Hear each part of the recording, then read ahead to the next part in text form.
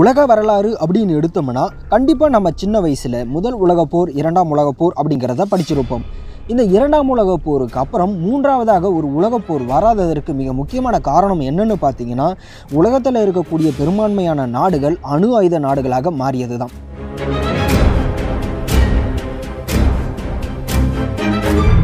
இந்த இரண்டாம் உலகப் போரோட முடிவில் யாராலையுமே மறக்க முடியாத மற்றும் மன்னிக்க முடியாத விஷயம் என்னென்னு பார்த்தீங்கன்னா ஜப்பானில் இருக்கக்கூடிய இரோஷிமா மற்றும் நாகசாகி அப்படிங்கிற நகரங்களில் அமெரிக்காவால் போடப்பட்ட இரண்டு அணுகுண்டுகள் தான். ஆனால் அமெரிக்கா ஜப்பான் மீது அணுகுண்டுகளை வீசுவதற்கு என்ன காரணமாக இருக்குன்னு சொல்கிறாங்கன்னு பார்த்தீங்கன்னா ஜப்பான் மொழியில் இருக்கக்கூடிய ஒரு வார்த்தையை ஆங்கிலத்தில் தவறாக மொழிபெயர்த்தது தான் அப்படின்னு சொல்கிறாங்க இதை சொன்னவங்களால் நம்ப முடியாதுன்னு எனக்கு தெரியும்.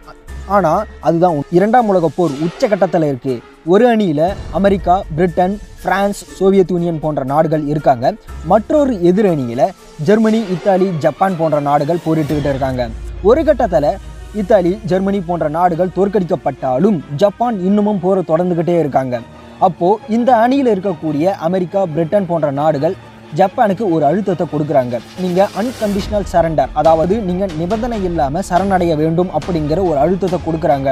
இந்த ஜப்பானுக்கு மிகப்பெரிய குழப்பம் சரணடையலாமா வேணாமா அப்படிங்கிற ஒரு குழப்பத்தில் இருக்கும்போது ஜப்பானுடைய இராணுவம் என்ன சொல்லுதுன்னா நாம் மிக வலுவாக இருக்கோம் இந்த டைமில் நாம் சரணடையக்கூடாது அப்படின்னு ஜப்பானுடைய அரசாங்கத்துக்கு சொல்கிறாங்க இந்த குழப்பமான சூழ்நிலையில் பத்திரிகையாளர் சந்திப்பை நடத்துகிறாரு ஜப்பானுடைய அதிபரான சுசுகி கண்டரோ.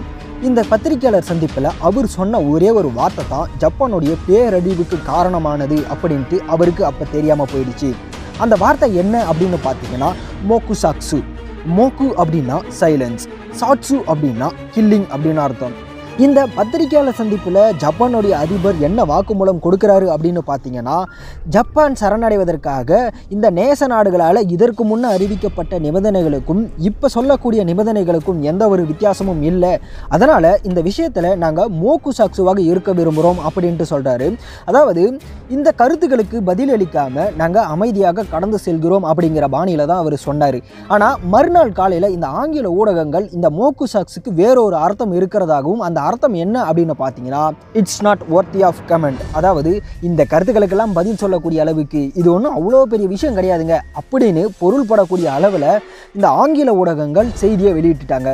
இந்த செய்தியை பார்த்த அமெரிக்காவோட அதிபரான ஹாரி ட்ரூமன் அவர்களுக்கு பயங்கர கோபம் வந்துடுச்சு. ஆக நேச நாடுகளுடைய நிபந்தனைகளை ஏற்க ஜப்பான் மறுத்து விட்டது அதனால் ஜப்பான் போரை தான் விரும்புகிறாங்க அப்படின்னு நினைச்ச ஹேரி ட்ரூமன் அவர்கள் இந்த கருத்து வெளியான நாளிலிருந்து பத்தாவது நாள் அதாவது ஆகஸ்ட் ஆறாம் தேதி இந்த உலகின் முதல் அணுகுண்டு ஹிரோஷிமா மீது போடப்படுது. ஹிரோஷிமா மீது போடப்பட்ட அணுகுண்டு தாக்குதலோட அதிர்ச்சியிலிருந்தே மீளாத ஜப்பான் மக்களுக்கு மீண்டும் ஒரு பேரதிர்ச்சியாக மூன்று நாள் கழித்து அதாவது ஆகஸ்ட் ஒன்பதாம் தேதி நாகசாகி மீது பே- பேட்மேன் அப்படிங்கிற மற்றொரு அணுகுண்டை வீசுறாங்க அமெரிக்கா. இந்த அணுகுண்டு தாக்குதல் மூலம் சுமார் ஒரு லட்சத்துக்கும் மேற்பட்ட ஜப்பானியர்கள் அந்த இடத்திலேயே உயிரிழந்ததாக ஒரு புள்ளி விவரம் சொல்லுது. அது மட்டும் இல்லாமல் கை கால்களை இழந்து சுமார் பதினைஞ்சு லட்சம் பேர் பாதிக்கப்பட்டதாகவும் இன்று வரைக்குமே பல பேர் புற்றுநோயால் பாதிக்கப்பட்டு இருக்கிறதாகவும் இந்த புள்ளி விவரங்கள் சொல்கிறாங்க இந்த விஷயத்தின் மூலமாக நாம் என்ன தெரிஞ்சுக்கணும் அப்படின்னு பார்த்தீங்கன்னா அரசியல் கட்சி தலைவர்கள் மிக முக்கியமான பிரமுகர்கள் பேசக்கூடிய வார்த்தைகளை மிகச் சரியான முறையில் மட்டுமே மக்களுக்கு கொண்டு போய் சேர்க்க வேண்டும். அவர்கள் பேசக்கூடியதை மிகச் சரியாக மட்டுமே மொழிபெயர்க்க வேண்டும் அப்படிங்கிறத நம்ம தெரிஞ்சுக்கணும். அது மட்டும் இல்லாமல் நாம் சொல்லக்கூடிய ஒரு சில வார்த்தைகள் மிக முக்கியமான தலைவர்களை கூட பாதிக்கக்கூடும் அப்படிங்கிறதுக்கு இந்த இந்த அணுகுண்டு தாக்குதல் மிக முக்கியமான சான்றாக இருக்குது இந்த வீடியோ உங்களுக்கு பிடிச்சிருந்தா லைக் பண்ணுங்கள் உங்கள் நண்பர்களுக்கு ஷேர் பண்ணுங்கள் மறக்காமல் கீழே இருக்கக்கூடிய ரெட் கலர் சப்ஸ்கிரைப் பட்டனை கிளிக் பண்ணி சப்ஸ்கிரைப் செய்து கொள்ளுங்கள். அப்படியே ஒரு பெல் ஐக்கான் வரும் அந்த பெல் ஐக்கனை கிளிக் பண்ணி ஆல் ஆப்ஷனை சூஸ் பண்ணிக்கோங்க. நன்றி வணக்கம்.